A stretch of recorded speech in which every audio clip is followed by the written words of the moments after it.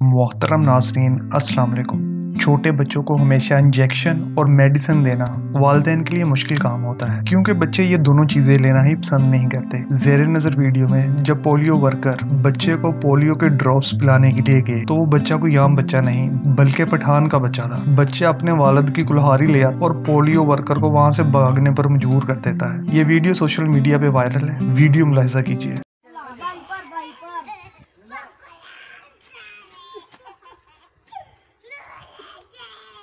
बस बस three minute बस बस नहीं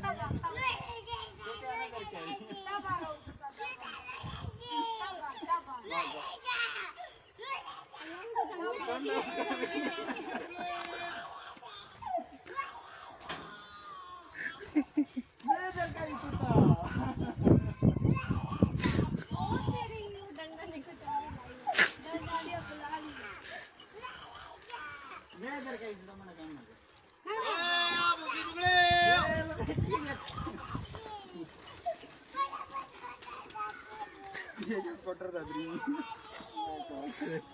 मालरे का के का